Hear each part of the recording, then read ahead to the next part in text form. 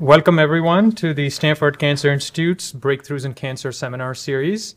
Um, we're exceptionally lucky today to have Dr. Jennifer Grandis from UCSF. Uh, she's a leading surgeon scientist in the area of head and neck cancer. She is also an invaluable member of our external advisory board, so we're really happy to have you here, um, Dr. Grandis. Um, I also want to welcome all of you, both those of you who are here in person and those of you here who are on Zoom.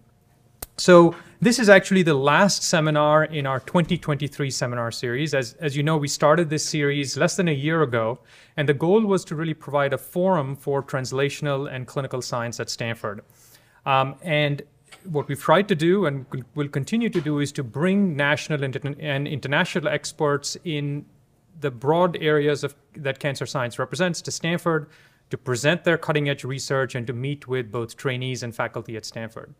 And as we uh, come to the end of this first year, I really want to thank all the speakers and really want to thank all of you for helping make this series a success for your participation and your engagement with both the speakers and um, uh, and with all the activities around uh, around this series. Now, the 2024 cycle uh, starts on January 9th, and we have a fantastic set of speakers lined up. So I hope that we will you will continue to support this series. Uh, look out for a name for all those speakers. Probably will be released somewhere in, in November timeframe. So we will look forward to wel welcoming you then. So for this series, uh, for this seminar today, for those of you who are on Zoom, please put your questions in the Q&A box, and there'll be a Q&A session at the end of this, um, and we'll try to convey those questions to the speaker. For those of you who are here in person, uh, please join us for a reception that will happen immediately after this seminar. As you exit the seminar room, take a left, and we'll have some refreshments and food uh, in the patio. Um, and you, get a, you can get a chance to ask the speaker more questions and interact with each other. So with that, I'm going to turn it over to Dr. John Sun Wu to uh, introduce Dr. Grandis. So it's my great pleasure to introduce Dr. Jennifer Grandis uh, for this afternoon's talk. Um, as Raj mentioned, Dr. Grandis is a surgeon scientist and the Robert K. Werby Distinguished Professor in Head and Neck Cancer at the, at the, um, in the Department of Otolaryngology, Head and Neck Surgery at UCSF. Her accomplishments and awards are many, and I can't list them all, but I wanted to highlight a couple of them. She's been inducted into the National Academy of Medicine, the American Society for Clinical Investigation. She's the recipient of an art um, an NCI R35 Outstanding Investigator Award. She was a co-PI of a head and neck cancer spore, um, of which there have only been a few or a handful uh, ever uh, in head and neck. Um, she, of her many accomplishments, I think the one that is probably most profound is that she was one of the first to show that the epidermal growth factor receptor is overexpressed in head and neck cancer and that targeting it or STAT3 signaling uh, downstream of the EGFR has a profound anti-tumor activity. And that work led to the FDA approval of cetuximab, which is um, now commonly used in head and neck. Uh, Dr. Grandis also co-chaired the TCGA working group for head and neck cancer and was a senior author of the paper in Science describing the results of that work. Um, and she's, over her career, she's published over 400 publications. Uh, but I think the most lasting contribution to the field of head and neck cancer is the fact that Dr. Grandis was one of the first uh, laboratory based surgeon scientists in head and neck. And um, that has really been the inspiration for a whole generation of head and neck surgeon scientists, myself included. So, welcome, Jane. you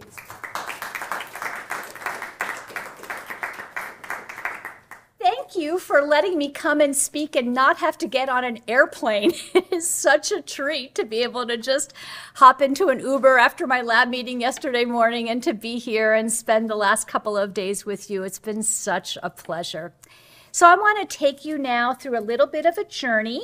Uh, I'm going to pull up my slides and talk about head and neck cancer translational medicine. So I want to start out by really giving a shout out to Team Science it's a word that is used, maybe overused, but what I want to mean, what I mean by this is that our historical emphasis on individual exceptionalism at the expense of really forming meaningful relationships with other colleagues and trainees is ridiculous. And the sooner we move away from over prioritizing first and senior authorship and fighting about these things that don't make any sense at all and just emphasizing how we contribute to the work, we will just deliver so much more uh, value to our society and we'll be much happier. And one of the things that uh, I did when I moved to UCSF, honestly, because I was just too busy with my uh, vice chancellor job, is I agreed to co-lead a lab with two PIs. I'm standing there in the front with Dan Johnson, who was a longtime colleague and independent investigator from Pittsburgh who decided that he wanted to come back to San Francisco where he'd done his postdoc. He's now the vice chair for research in our department, and Patrick Ha, who runs our head and neck surgery program, and having three uh, co-PIs oversee this diverse group of young people has been just enormously beneficial to all of us. And I wish I'd done it early on. It was so lonely being a little CEO. So, um, my disclosures is that I uh, have completed um, investigator-initiated clinical trial with support from Insight. I'm not going to talk about that today. I do some scientific consulting, you know, here in uh, the Bay Area, and I have uh, invented a STAT3 inhibitor, and those patents have been exclusively licensed to a startup company called Blue Dot Bio, and I will talk about that drug a little bit today.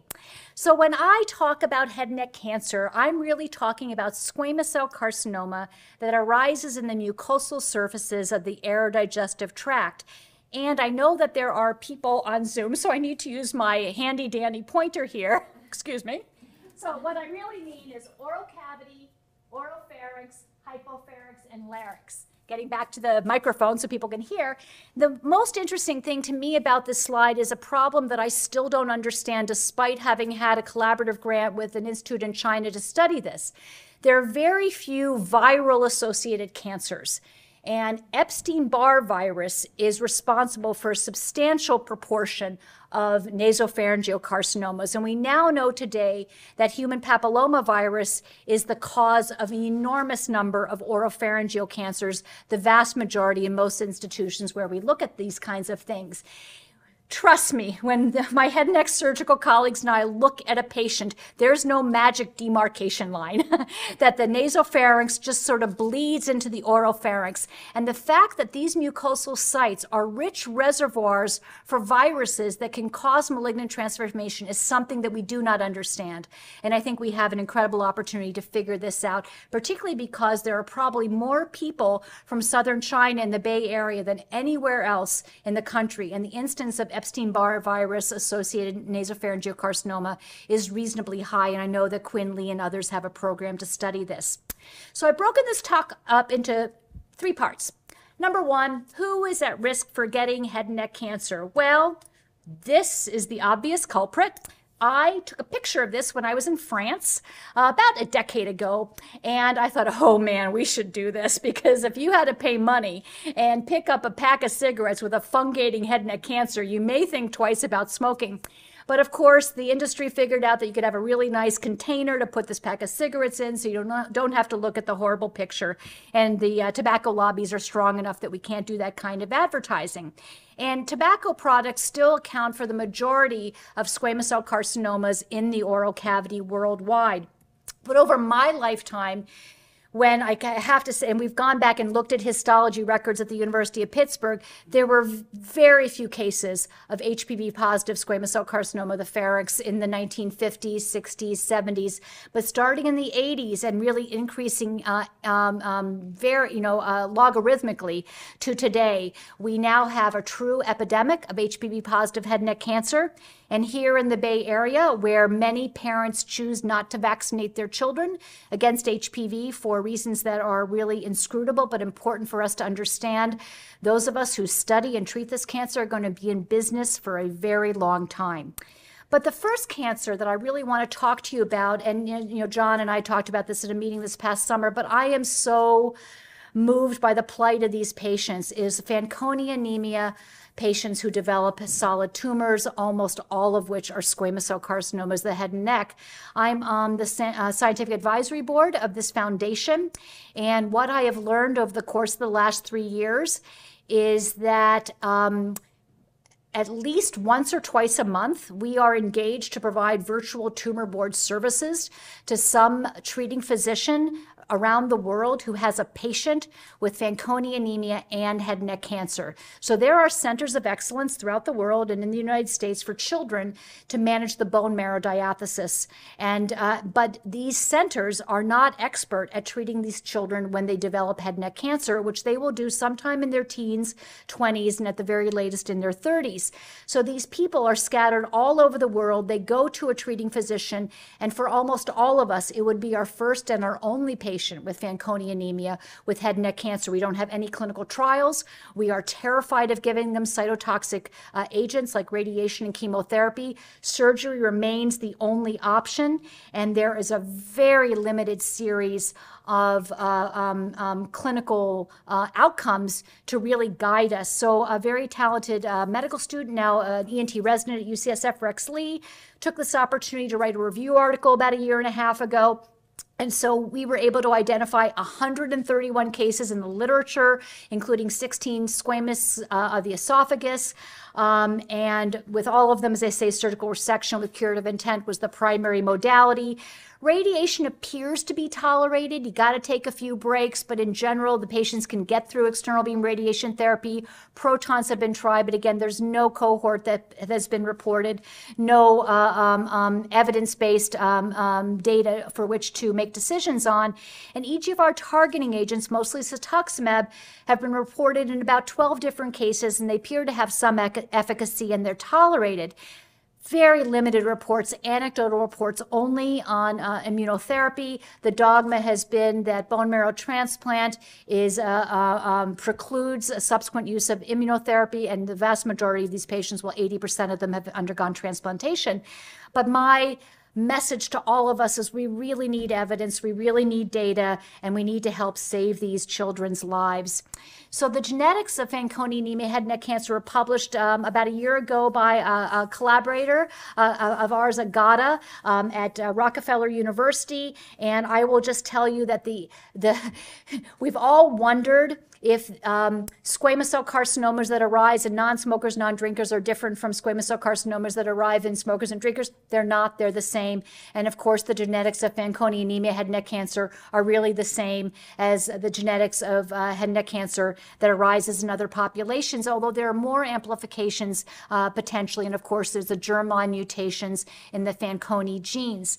So what we have done in our laboratory, and I'd be delighted to collaborate with anybody, is we're trying to develop relevant relevant preclinical models. So our lab is pretty good at making patient-derived xenografts. We have about 100 from uh, uh, non-FA head and neck cancer patients. We've written a lot about what these models look like. They look very similar to the patients. They're more similar to the patients than the cell lines. And so this is just the histology of three of the models that we've got up and going. And I'm going to tell you a lot about um, the first model because we've characterized that most extensively.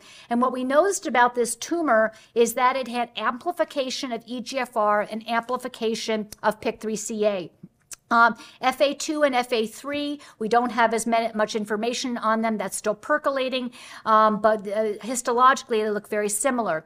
But if you're a medical oncologist, you realize that there are very few tools in the toolkit to treat patients with head and neck cancer. And the standard therapy, which is carboplatin or cisplatin, is absolutely contraindicated in patients with Fanconi anemia. We will kill them if we give them. In fact, some adults get diagnosed with Fanconi anemia when they develop a head and neck cancer. They're given platinum and they have this extraordinary toxic reaction, and they go back and it looks like they had Fanconi anemia that was just unrecognized recognized.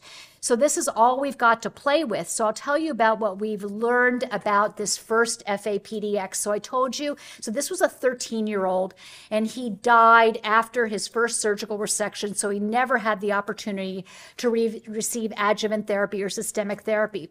But when we profiled his tumor, we knew it had an EGFR amplification. And even though EGFR amplification is not a predictive biomarker for response to EGFR inhibitors, including cetuximab in the non-FA population, we wondered whether or not in this population it would provide some useful information. And I think you can appreciate that there's very exquisite sensitivity of this particular uh, PDX to cetuximab. And at very low concentrations, there appears to be tumor regression. But in contrast, when we look at the uh, PDX that we developed from patient number two and patient number three, it's stone cold resistant to cetuximab. So this notion that we're going to find a single modality that's going to be amenable for treatment in this rare population is naive. There's going to be as much heterogeneity among these patients as there is among non-FA patients. It's just the, the situation is really dire. And as I mentioned to Nate, the, the situation for PDX number two is urgent. So one of the really extraordinary things about this foundation is the scientists and the families meet together. So I got to know the patient and his mother that we've created model number two. This patient uh, works for a big biotech company. He's a very bright guy. He has survived two bouts of head neck cancer, both of which were treated with surgery alone. And his model is resistant to every single treatment that we have tested thus far. It also is one of only two PDX models that I've ever seen to be spontaneously metastatic. So I am really interested in collaborating with anyone who wants to understand how we can quickly learn what this model will respond to because this young man, he's 28 years old, he's going to recur and he is going to die unless we figure out how to treat his cancer. And when we look at the relative sensitivity of these FA models compared to non-FA models, you can see that model number one is exquisitely sensitive and models number two and three are much less um, um, sensitive. And this reproduces the heterogeneity that we see in the non-FA models. When we do a biochemistry, we can see in this first model that's sensitive to cetuximab that we can induce apoptosis, we can induce, uh, we can block uh, EGFR expression, EGFR phosphorylation, and this all makes a whole lot of sense in terms of biology. I think I mentioned to you that model number three uh, has an amplification. Actually, model number three has a canonical mutation of uh, PIK3CA. And so what we have now done is uh, looked at biochemically what that means. This uh, model, this uh, has activation of phospho-AKT, which we expect. You can see model number two has no EGFR, so it's not surprising that it's not responding to any of the EGFR inhibitors that we are tested. And I'll just pivot to say that the only clinical trial that I know of that is about to get underway is in Europe, and they're going to use um, afatinib, an EGFR HER2 inhibitor, an irreversible tyrosine kinase inhibitor, and it's very clear to me that that drug is not going to work for patients like number two because there is no EGFR, and therefore it's very unlikely this drug will work. And when we tested model number three, to cetuximab alone and in combination with alpelisib, which is the only FDA-approved P110 alpha inhibitor, we do see an augmentation of effect, although not tumor regression, when those two agents are, are uh, combined. Sadly, this patient has also succumbed to his disease, so there's no real-world practicality to these experiments. So, from my perspective, in Fanconi anemia, we have a real paucity of models, whether it be cell lines, genetically engineered mouse models, and PDXs. Uh, the foundation is supporting research to create models, and I would uh, guide you to their page uh, limited inf information on what happens to these patients when they, in fact, we conduct this tumor board and we have no idea whether the treating physicians take our advice. We don't know whether the patients respond to the treatments that they've been given, and we don't know what their toxicity profile is. So until we actually start collecting this data, we are still going to be playing in the dark. So that's who gets uh, head and neck cancer. And now I'm going to switch gears slightly to precision medicine and the opportunities and challenges in head and neck cancer. So you heard that I had the privilege of uh, being part of the TCGA working group, and this was the paper that we published um, in Nature as a result of that initial effort. And what we found is that the PIK3CA oncogene was by far the most frequently mutated oncogene in head and neck cancer. And about half of the HPV positive cases had an alteration. Most commonly, it was mutation in PIK3CA, but about a third of the HPV negative cases also had an alteration in this oncogene. So we looked at the whole pathway, and indeed, of all the oncogenic pathways, mutation in this pathway was by far the most common in head and neck. And our preliminary evidence in our preclinical models would suggest that these mutations can be a predictive biomarker. The question is to what, and we'll get there in just a second.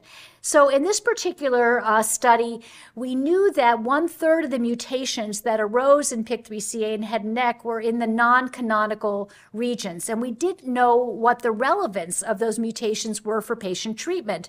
And at the time, there was a postdoc from Korea who was in our lab. He was doing a basket trial in Korea, and he said, You know, I just had this mutation uh, arise in a patient that's on our trial. Nobody knows anything about this mutation, and yet the patient responded to single agent alpelisib. So, a one year durable response, then progressed and was put on immunotherapy. The patient is actually still alive now, and it's been about six years.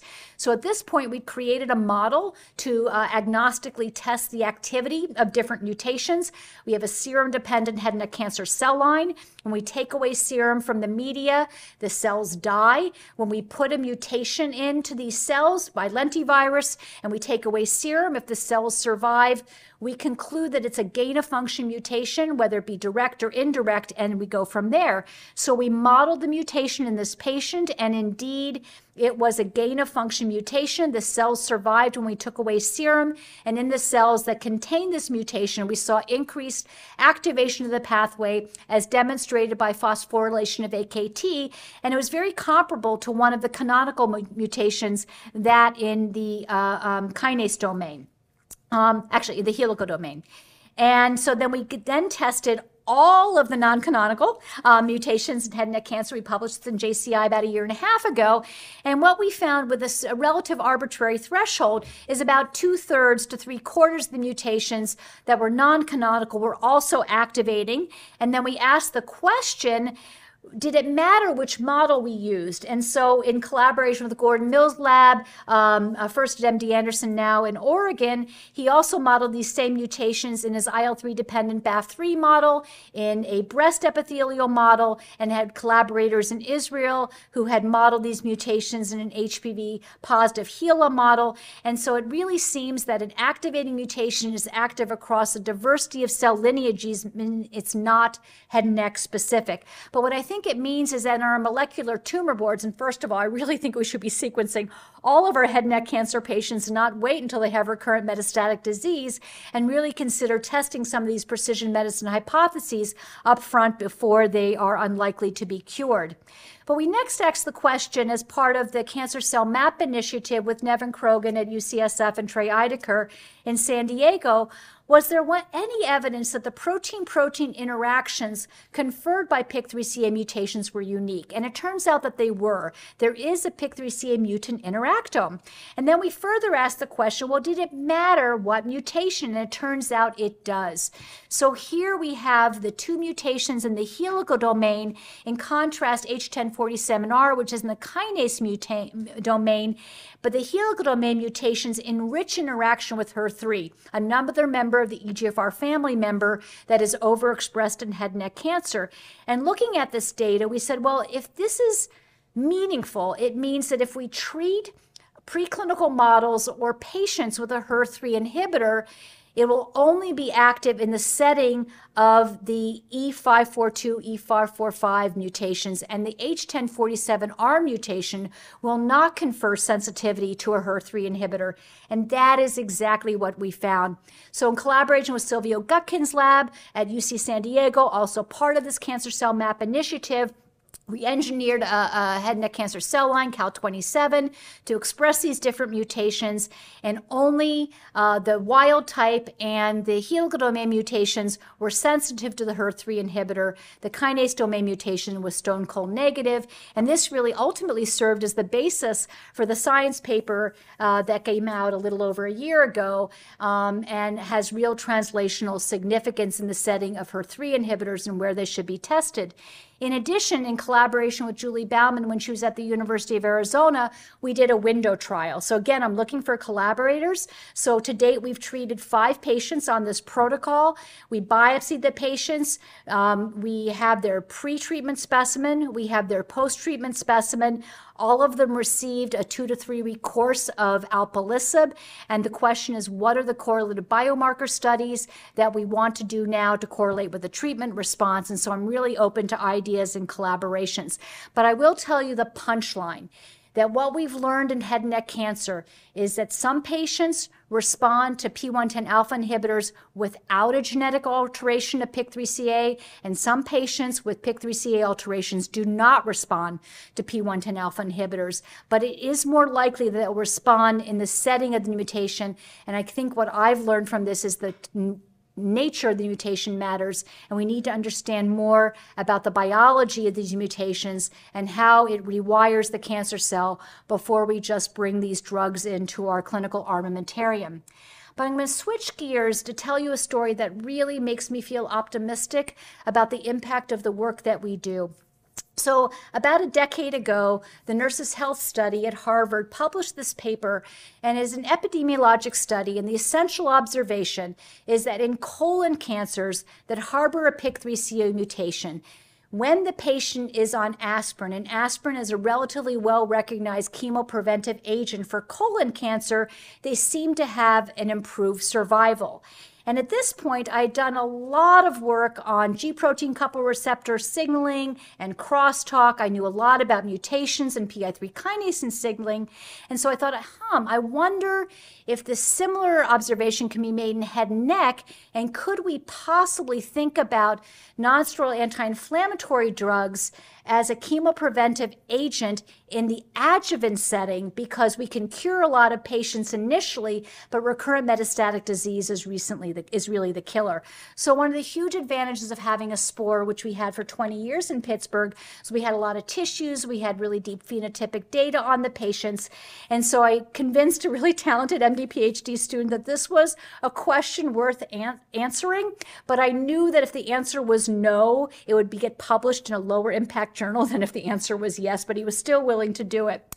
So we took this cohort, and there ended up being 266 cases. And we went into the EMR and we asked how many of these patients were placed on NSAIDs after their diagnosis of head and neck cancer. And trust me, no head and neck cancer physician would prescribe NSAIDs. They were almost always prescribed for cardiovascular reasons. And we knew whether or not their tumors had a PIK3CA alteration because we did sequencing and we did FISH and we also looked at HPV. And the results were really striking. So you can see that when a tumor is stone cold wild type for PIK3CA, it doesn't matter if they take NSAIDs or not. Their survival at five years is what we expect it to be. It's about 50%.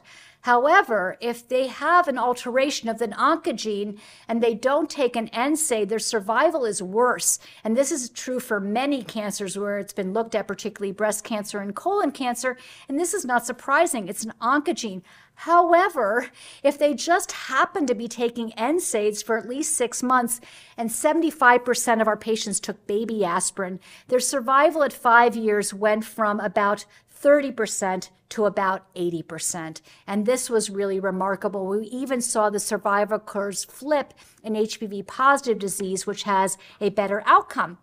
So then we went back to our animal models, which were imperfect. Because remember, these patients were treated with curative intent. And we studied the tumor and then we studied their outcome. We didn't study um, their tumor in response to a specific therapy. However, um, we had made a lot of PDXs. And so we had PIK3CA mutant PDXs, we had PIK3CA wild type PDXs, and we put them into mice and we treated them with about six different NSAIDs. I'm showing you the Sulindac data, but we looked at indomethacin and celecoxib and aspirin. And in every single case, the wild type PDXs was stone cold insensitive to an NSAID. Not surprising. We don't treat cancer with aspirin.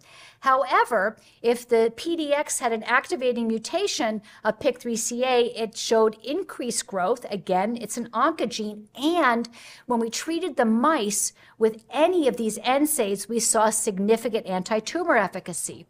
And then we harvested the blood from these mice and we measured prostaglandin E2 because we hypothesized that, remember, the patients are telling us the truth. We're just sometimes not smart enough to figure it out.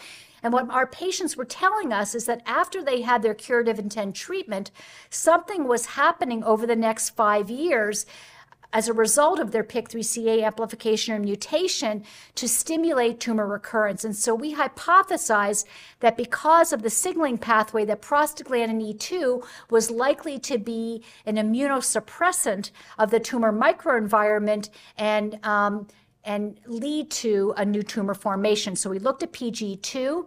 We then went back to our uh, uh, immunocompetent models. This happens to be MOC1 cells, and we engineered them to express a mutation. And indeed, when we looked at the percentage of NK cells or CD8 positive T cells, we could actually see a significant decrease when we introduced amplification or mutation of PIK3CA. So this is the trial that we are hoping to do through the cooperative group mechanism over the next few years.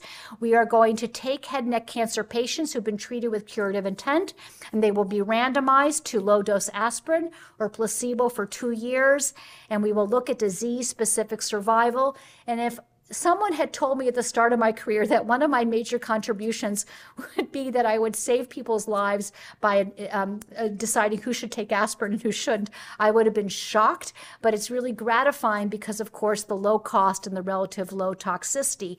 Now, I often get the question, well, when I not give aspirin to everybody?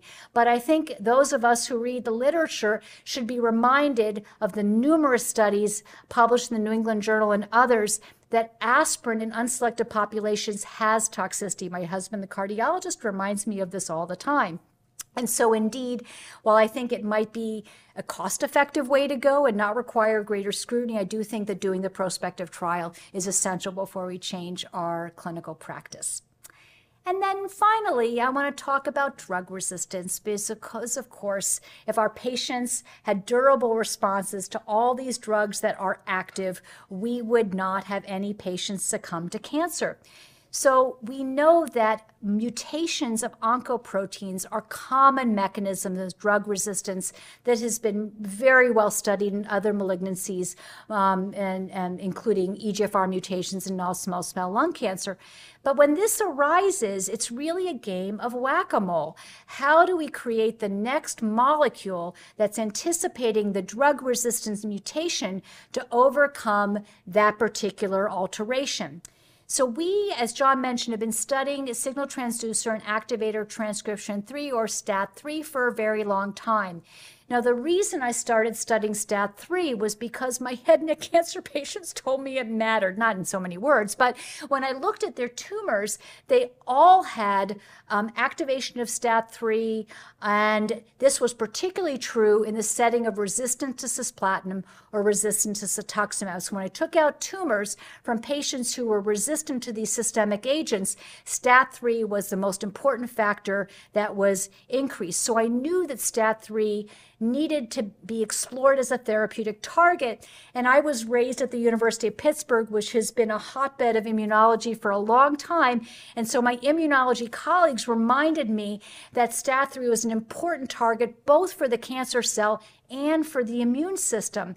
Because if we could block STAT3, we could increase anti tumor immunity in the microenvironment, and that would be a double boon for cancer treatment. So around this time, um, uh, Jeff Settleman reached out to me. This is when he was at Genentech, and he's like, "All right, tell me about STAT3. I've heard you talk about STAT3. I didn't really believe it, and I just care. I just did this, you know, uh, a, a, study, and I looked at drug, drug resistance me- mechanisms, and the one that keeps popping out all the time is STAT3. So I think it's fairly agreed upon that STAT3 is an attractive therapeutic target. There's just one small problem it's undruggable, or at least that's what the dogma would lend you to believe. It's an intranuclear transcription factor that lacks enzymatic activity, which means it's really hard to think about drugging it.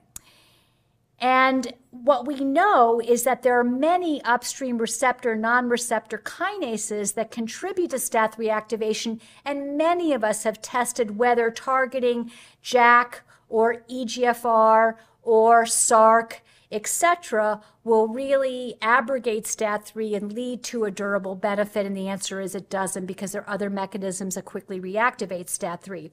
So maybe one of the benefits of being an MD only physician scientist is it didn't occur to me that I couldn't do this. so I worked with some wonderful scientists from Carnegie Mellon and otherwise to try to think about how we could trick the cell into thinking there was active STAT3 signaling, but it was just a dummy or a decoy. So I got this idea from reading a paper in Blood about uh, STAT6 in HIV. And I thought, well, if you can do it for STAT6, you should be able to do it for STAT3. So essentially what we've designed is a large small molecule that uh, shuttles between the cytoplasm and the nucleus. It binds to STAT3 dimers. It binds to the STAT3 response elements in target genes, and it it shuts off STAT3 signaling with resultant anti-tumor effects. But one of the things that has occurred to us is that it may avoid the most common mechanisms of drug resistance. Resistance, because think about it, if the response is to mutate STAT3, well, that's a good thing. it doesn't mean the drug won't be effective. It just means STAT3 will no longer be an active pathway. So mutation of STAT3 would actually be beneficial to the patients and not lead to resistance necessarily to the drug. So we have a first generation molecule that we took all the way to phase zero trial. And in our initial uh, molecule, we sequenced um, the smallest fragment of the CFOS promoter. And in all of our preclinical models, we had a mutant control that differed by a single base pair that did not bind to STAT3. We reported that uh, it competed to genomic DNA. The, the mutant had no uh, effects. And when we injected this molecule directly into the xenografts in our mice, we saw profound anti tumor efficacy. And this was around the time that the FDA introduced the concept of a phase zero trial. So we did it. Why not? And it was the easiest clinical trial I've ever done. Took our patients to the operating room. We biopsied the tumor. We were going to resect it anyways. And then we injected the tumor with either the decoy or with saline. And I had a reviewer once say, Well, why couldn't you use the mutant control? And my response was, Because these are human beings, and you can't give a mutant control to a human being. But um, the only endpoint that I was interested in is was there any evidence that there was downregulation of STAT3 target genes? Because that was the most important biochemical effect. And part of me kind of hoped it wouldn't work because I knew I was never going to pursue an intratumoral platform because I had already done that with the gene therapy and it was just too cumbersome and I didn't believe in it but it worked. So the it uh, downregulated STAT3 target genes in the decoy treated tumors. And remember, these tumors were only exposed to about four to six hours of the material because they were having a tumor resection. So at this point, we go to our friend Danith Ly, who's a nucleotide chemist at Carnegie Mellon, and we went through about uh, two dozen iterations to try to um, stabilize our molecule so that it retained biologic activity, but it was more stable so it could be given systemically. And here what we've come up with, and this is the agent that we've patented and that we are taking to clinical trials in humans. And we see dose dependent anti tumor effects, and now we're giving it by tail vein injection into the mice with xenografts a very um, smart reviewer said, okay, but what about uh, cetuximab? And what about an FDA approved uh, JAK-STAT inhibitor? So we looked at ruxolitinib, very little activity. I can tell you now I've done a window trial with ruxolitinib, and the best response we got was stable disease. So I just don't think that there's really room for JAK inhibitor in the um, uh, clinical uh, armamentarium for head and neck cancer. And I think you can appreciate that uh, the decoy was more effective than cetuximab. And when we combined cetuximab with the decoy, we actually saw tumor regression, which was very encouraging. Then to test the immune hypotheses, we went to uh, our immunocompetent models, and indeed, we see now compared to a scramble control, we get increased CD8 positive T cells, increased NK cells, and increased NKT cells in the tumors treated systemically with the decoy. And of course, in this era of immunotherapy for head and neck cancer, we had to ask the question how did this fit in with immune checkpoint inhibitors? And we see augmented effects when we combine the decoy with immune checkpoint inhibitors and dramatic downregulation of T regulatory cells in our animal models and upregulation of interferon. So we are cautiously cautiously optimistic then the immune mechanism makes sense. Now, it's always really nice if someone else takes what you've invented and they can reproduce what you found and go one step beyond. And so, Jill Siegfried, when she was the chair of pharmacology at Minnesota, felt that uh, non-small cell lung cancer was very similar to head and neck cancer, and she showed in a number of both EGFR mutant, EGFR wild type models of uh, non-small cell lung cancer that decoy had tremendous anti-tumor efficacy, and in one of the most interesting studies, one of her graduate students decided to test whether it had chemopreventive activity. He didn't tell Jill he was doing this, and so he treated a cage of mice with a decoy, a, a cage of mice with the control, and then gave them the carcinogen. And then about eight months later, Jill got a call from the animal facility who said, uh, You got two cages of mice here one cage can't breathe and the other cage looks fine. and so, lo and behold, it became apparent that there was real chemopreventive activity. And this is just a, a, histologic look at the mice from the two different groups.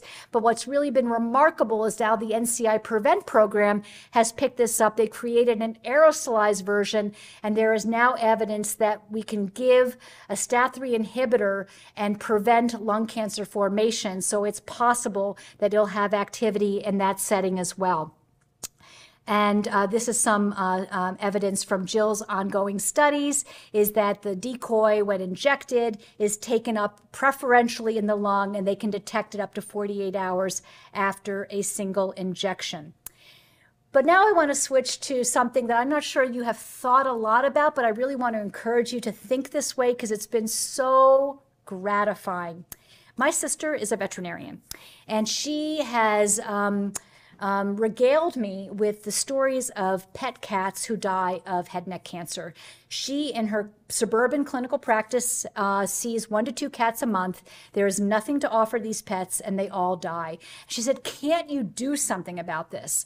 So, uh, moving to UCSF, I realized that Davis was down the block, so to speak. We're one university. I reached out to the oncologists in the vet school, and they were very interested in thinking about a clinical trial. So, uh, they confirmed that the uh, immune microenvironment of feline head and neck cancer looks very much like human head and neck cancer, and that they were very open to doing a clinical trial. And to do a phase one trial in pet cats, you just need an IACUC approval. You don't need an IND.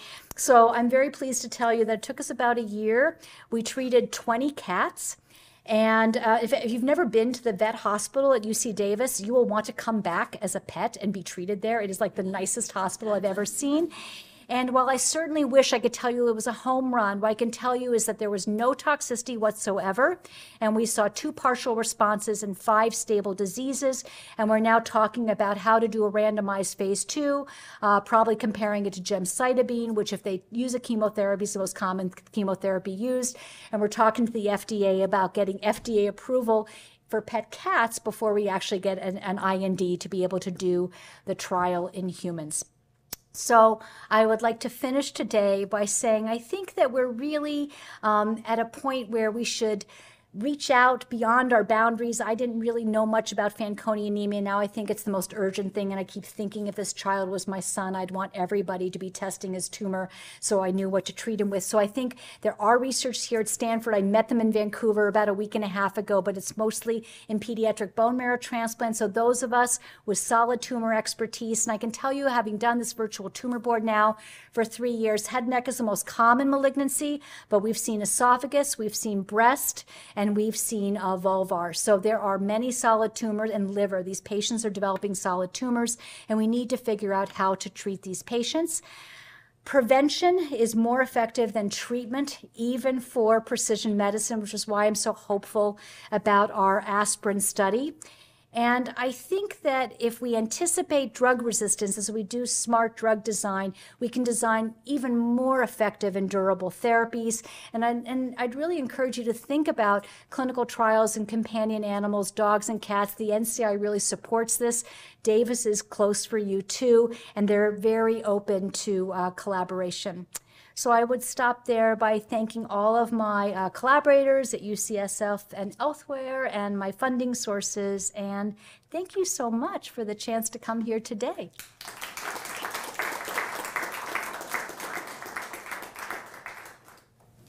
Jenny, great talk. Um, the Fanconi anemia part.